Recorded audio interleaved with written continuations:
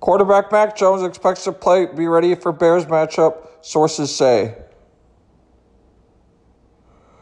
New England Patriots quarterback Mac Jones expects to be available for the team's Monday Night Football game against the visiting Chicago Bears, sources told ESPN.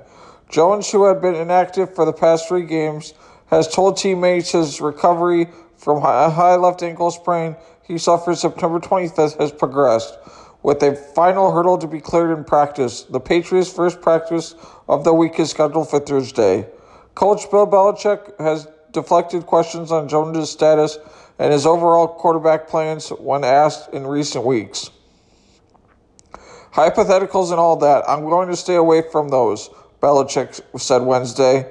We'll see what we actually are dealing with with here as we go forward.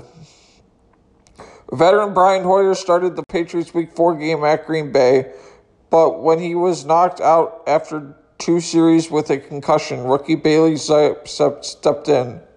Zapp has started the past two games going 2 0 in 11 quarters of action. Zapp is 51 of 70 for the 596 yards with four touchdowns and one interception.